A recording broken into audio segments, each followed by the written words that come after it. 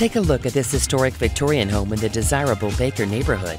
Own a part of Denver's history with this beautiful home, created in 1890 by William Lang, architect of the Molly Brown House.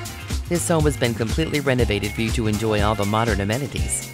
Inside, you'll find a desirable and open floor plan that's perfect for entertaining. The corner lot provides ample outdoor living space with a fenced yard, sprinkler system, large decks, and space for gardening. You'll love calling this charming property and neighborhood your new home. Contact Elizabeth Murphy to learn more.